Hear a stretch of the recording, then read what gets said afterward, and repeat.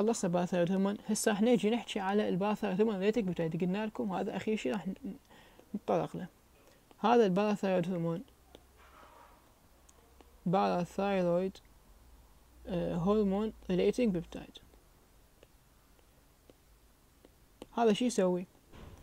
هذا parathyroid related peptide فد بروتين يشبه ال PTH يعني هذا have parathyroid hormone activity عنده نفس ال activity مال parathyroid hormone ماشي؟ زين. شنو الفروقات؟ الفروقات اولا إنه هذا يتكون من مية وأربعين amino acid. بس ال parathyroid hormone قلنا من إيش قد تكون تكون قلنا أخير شيء؟ الخطوة الأخيرة تذكرون قلنا من أربعة وثمانين amino acid. هذا الخلاف الأول.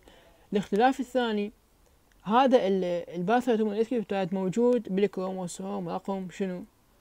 12 ولك هذا بيكون موجود بالكروموسوم رقم 11 زين بعد.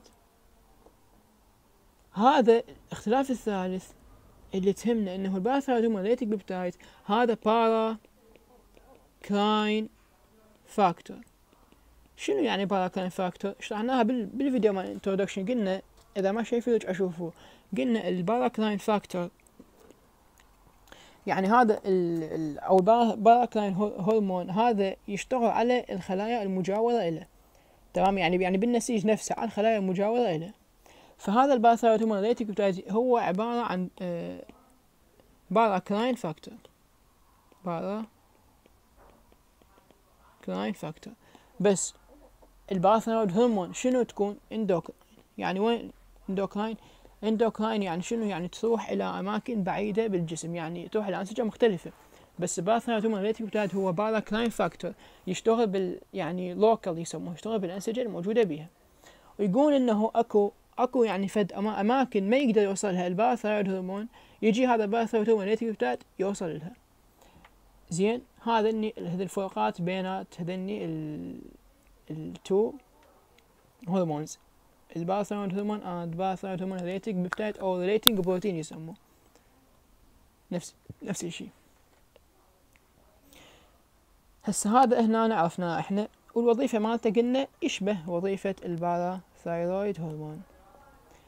نجي هسه نحكي أخير شيء على فد موضوع الكالسيتونين شنو هذا الكالسيتونين calcitonin calcitonin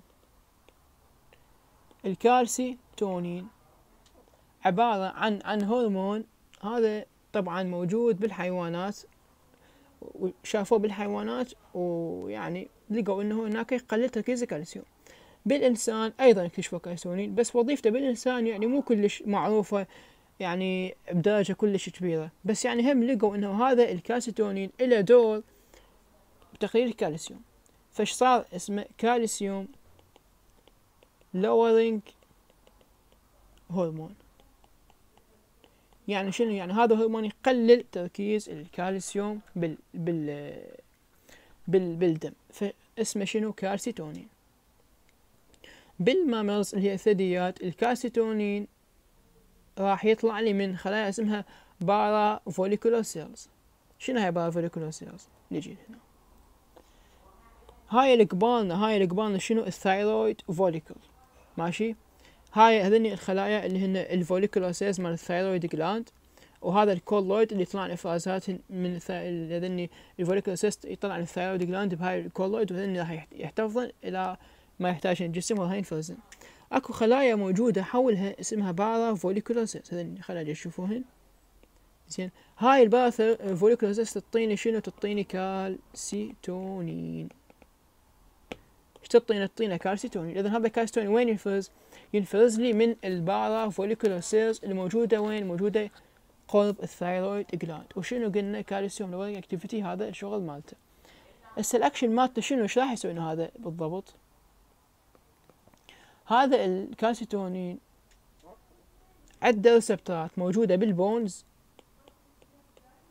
وال kidney يعني هذا مو طلع لي من من ال follicular cells مال ال parathyroid hormone أو عفوا مال ال thyroid gland هاي ال thyroid follicular cells هاي الخلايا هاي اعتبرها thyroid follicular cells يعني هذا colloid هنا هذا سوالف مال thyroid gland هاي هنا عندنا خلايا هذا ال parafollicular cells شي طلع طلع لي calcitonin calcitonin هذا راح يروح يشتغل على ال bones وعلى ال kidney لأن عنده receptor ات بال bones وبال kidney.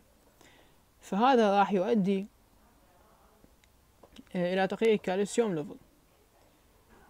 زين هذا على ال bone راح يسوون inhibit inhibition of bone resorption. راح يسوون inhibition inhibition bone resorption.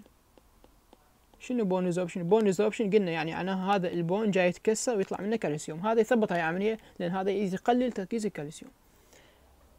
زين. بال kidney شو يسوي؟ بال kidney يقول بال kidney يسوي. طبعا هنا inhibit resorption اذا يا خلايا يسوي inhibition inhibition osteoclast لأن ال osteoclast قلنا ذن يسوون ال bone resorption على ال kidney على ال kidney هذا الكالسيتونين. راح يزيد آه، ال calcium excretion اذا increase calcium excretion in kidney.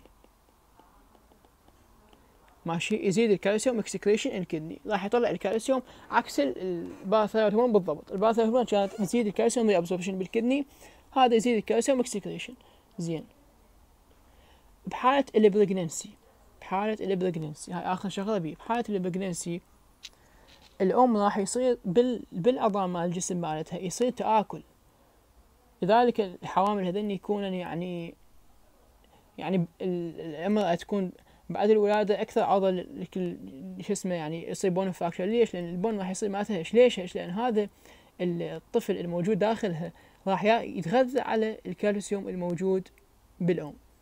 يعني الأم راح يتكسر الكالسيوم مالتها ويروح للطفل على مود شنو؟ على مود يعني ينبني العظام مال الطفل. لأن يعني قلنا الكالسيوم يساهم بتكوين العظام هو والفوسفات. يعني هن هو العظم أصلا يتكون من ذني. فالطفل راح ياخذ الكالسيوم مال الأم. زين. يعني إيش صار بالأم؟ أول شيء بالأم صار عندنا ال parathormone اشتغلن إيش صار بال بال بال mother ال parathormone اشتغلن هاي بال pregnancy اشتغل ال parathyroid hormone. يسوون calcium increase وهذا وين يروح؟ يروح لل baby. زين. هسه إذا بقت هاي العملية إذا بقى ال parathyroid hormone مشتغل راح يؤدي هذا إلى يعني العظم مال الأم راح يتآكل فد نوب فشنو راح يجي الكاستونين هنا شغلة. الكاسيتونين هنا راح يحمي الأم من excess calcium loss during pregnancy إيش راح يسوي؟ راح يجي الكالسيوم يثبط هاي الكاستونين عفوا الكالسيتونين. راح يجي يثبط هاي العملية كلها. فراح يثبط ال calcium re re resorption from the bone فنتيجة لذلك الكالسيوم ما راح يطلع لي من ال bone وراح يبقى بال bone مال الأم. نتيجة لذلك راح يؤدي يحافظ لي عليه من على ال ال ال ال bones of the mother يقول هنا إذا إذا ال bone resorption ما صار بي inhibition هذا راح يؤدي إلى آه، يعني إذا إذا ال bone resorption اللي تأكل العظام ما صار بي inhibition by calcitonin شو يؤدي هذا؟ يؤدي ممكن إلى قلنا إنه العظام مال الأم تتأكل فد نوبة وتصير كلش هشة. فهذا الكالسيتونين له دور مهم بال pregnancy على مود هاي الحاله لأن إذا ما عندنا كالسيتونين راح يبقى يتأكل العظام مال الأم. تمام؟ هنا إحنا نكون خلصنا ال parathyroid gland وحكينا على ال parathyroid hormone-related peptide وحكينا على الكاسيتونين وشوية من الأكشن مالته. فشكرا لحسن الاستماع.